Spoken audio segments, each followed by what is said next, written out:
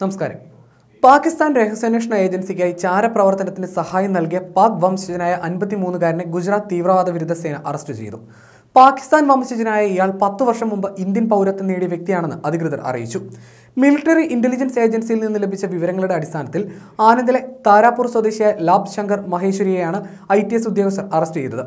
Rat malware ഉപയോഗിച്ചാണ് അവരുടെ ഫോണുകളിലെ വിവരം ചോർത്തിയതെന്ന് അന്വേഷണ ഉദ്യോഗസ്ഥർ അറിയിച്ചു.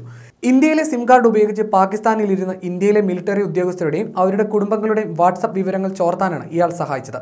പാകിസ്ഥാൻ രഹസ്യാന്വേഷണ ഏജൻസിക്ക് വേണ്ടിയാണ് ഇയാൾ പ്രവർത്തിച്ചതെന്നും ഉദ്യോഗസ്ഥർ പറഞ്ഞു.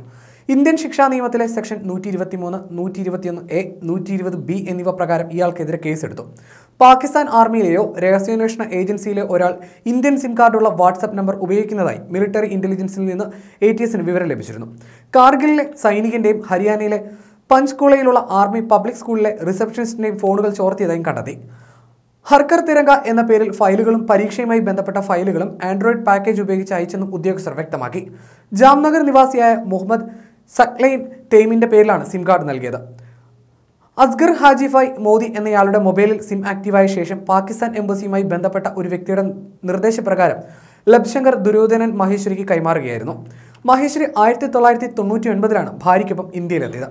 ആനന്ദിലെ താരാപൂരിൽ സ്ഥിരതാമസമാക്കി. രണ്ടായിരത്തി അഞ്ചിൽ ഇന്ത്യൻ പൗരത്വം നേടി. അദ്ദേഹത്തിന്റെ കുടുംബം ഇപ്പോഴും പാകിസ്ഥാനിലാണ് താമസിക്കുന്നതെന്ന് എ ടി എസ് പറഞ്ഞു. രണ്ടായിരത്തി ഇരുപത്തിരണ്ടിൽ തന്റെ കുടുംബത്തെ കാണാൻ പാകിസ്ഥാൻ വിസയ്ക്ക് അപേക്ഷിച്ചിരുന്നു. തുടർന്ന് പാകിസ്ഥാനിൽ താമസിക്കുന്ന മഹേശ്വരിയുടെ ബന്ധുവായ കിഷോർ വിസ നടപടികൾ വേഗത്തിലാക്കാൻ പാകിസ്ഥാൻ എംബസിയിൽ ജോലി ചെയ്യുന്ന വ്യക്തിയെ പരിചയപ്പെടുത്തി. വിസ അനുവദിക്കുകയും മഹേശ്വരിയും ഭാര്യയും പാകിസ്ഥാൻ സന്ദർശിക്കുകയും ചെയ്തു.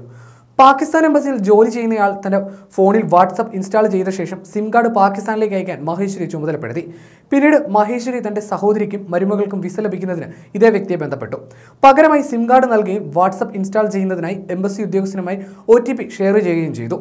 മഹേശ്വരിയുടെ സഹോദരി പാകിസ്ഥാനിലുള്ള ബന്ധുവായ കിഷോറിന് സിം കാർഡ് നൽകി.